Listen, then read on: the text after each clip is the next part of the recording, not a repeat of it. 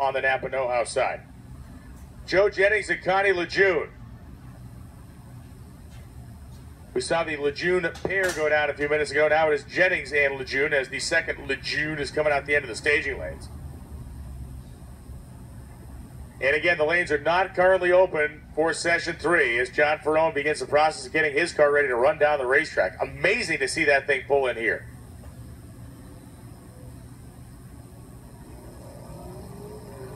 There goes Connie LeJeune and Joe Jennings waiting and leaving. 1080 with a 7 at 130 miles an hour for Connie LeJeune. Joe Jennings goes through the eighth mile and now stops the clock. 11.